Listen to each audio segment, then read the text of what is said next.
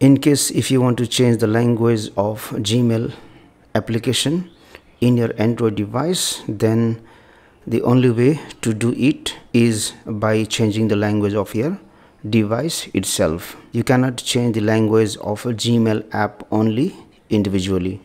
So at the moment if i open my gmail application it is in english. So if i want to change then what i will do? I will go to settings here. I will go to general management. I will go to language and input.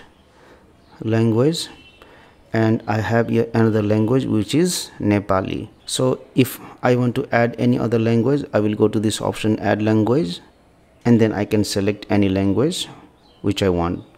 So once it is added what I can do is if I want to make this language as a default language I will just hold and then drag it on the top and then apply so now the language of my gmail app should be changed. So let me close this one and let me open gmail application. So if i see if i go to the menu here now i can see the language is changed. So this is how we can change the language of gmail app in android device. Thank you for watching this video. Please like and share this video if you found it helpful also click on the subscribe button and hit on the bell icon to get the notification of our latest videos for free